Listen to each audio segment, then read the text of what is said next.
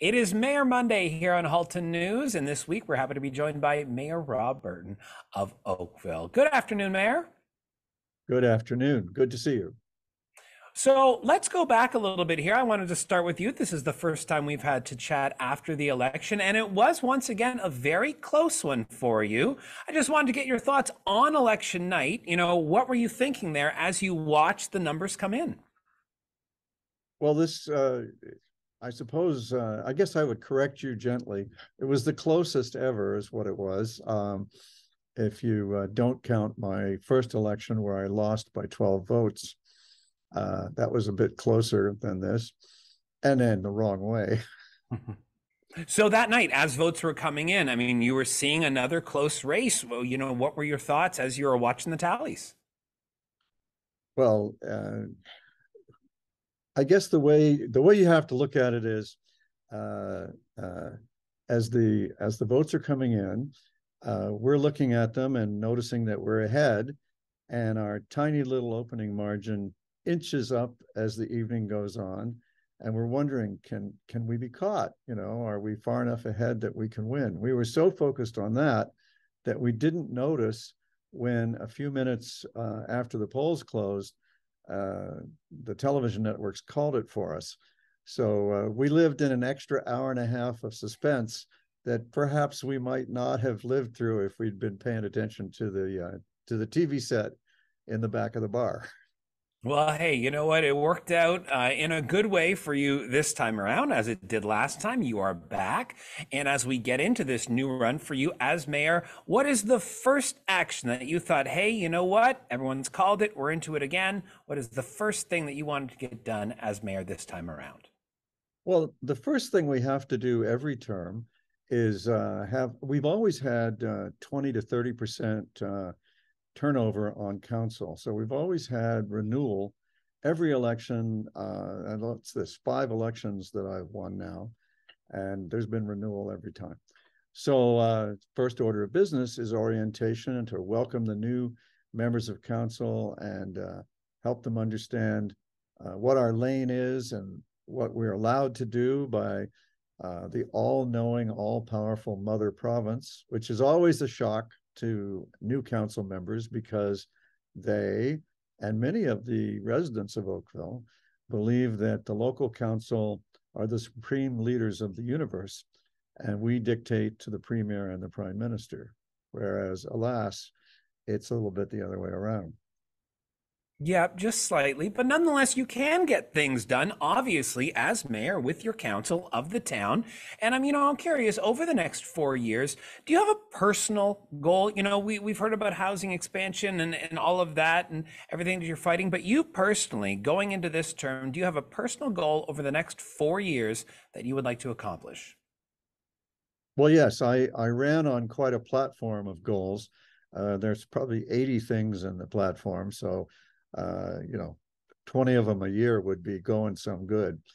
Uh, the biggest things are the 2,000 acre eco park, the the uh, long overdue uh, new cultural facilities for the downtown Oakville, which uh, I almost got built in the first two terms that I had, but we uh, we made a decision that we'd rather have a brand new hospital than uh, a brand new performing arts center back in the day. And uh, we didn't know when we made that decision that uh, there'd be a pandemic and we might be very glad to have the hospital that we have. So sometimes uh, the decision that you make uh, is better uh, looking later on when you when you discover that you needed it. Uh, but then in addition to that, we have a parking problem in our three Main Street shopping areas, Kerr and Bronte and Oakville and the we want people in those shopping districts and so we need to provide more parking if we're going to achieve all of our goals in that regard. And you know our economy needs to be as strong as possible. The uh, uh, one of the things i'm proud of is proudest of is saving the ford plant three times. And uh, now it's going to be a uh, worldwide center for the manufacture of electric vehicles and there's obviously, at least to me anyway, there's obviously opportunity for economic development as suppliers for that particular kind of vehicle will need to be located near the plants that assemble them. And so there's a every prospect that we can continue our terrific uh, economic development. We have a target. Uh, it's interesting. Nobody knows. I, I, for some reason, nobody wants to remember or know that the province sets targets for population and for jobs. And our target for jobs is about 100,000 jobs, and we have 110,000 jobs, which is to say we overachieve there.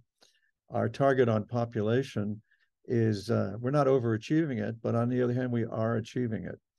And uh, you know, it's very plain from the uh, from the figures and the and the legislation that the province has uh, passed and is passing that uh, there's a crisis in housing supply and the legislature and the premier have pretty much issued an all hands on deck order and uh, set some very high expectations. Uh, Oakville was supposed to grow by 2,000 housing units a year for the next 10 years. In fact, for the next 30 years. But for the next 10 years, uh, they're calling on us to um, increase by 3,000 housing units a year. And for context, we have probably 78, uh, let's just round it off. We, we have nearing 80,000 housing units in the in the town of Oakville.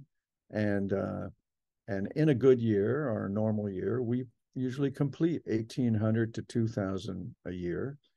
Uh, we used to complete, uh, there used to be actually more than that uh, in the high growth era of the 90s, where the town fell behind on its uh, facilities to keep up with growth.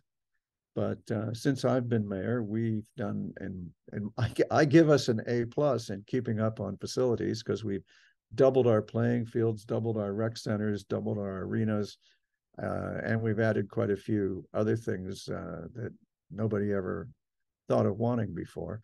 So you know, uh, there's a there's a job ahead for this council and next councils and all the councils I can see out for the next 30 to 50 years to uh, build the things that the community needs, the facilities, the parks, the playgrounds, the libraries, the arenas, the rec centers, all of that, uh, that we'll need to keep up with growth. And if we don't, uh, well, the growth will still come and it just won't be as livable as it could be. Lots of work ahead over the next four years, Mayor Burton. Uh, happy to have you along for the next four years and happy to have you back here once a month on Mayor Mondays. Thanks for your time today. Well, thank you. Uh, you just heard my inaugural speech. I just realized.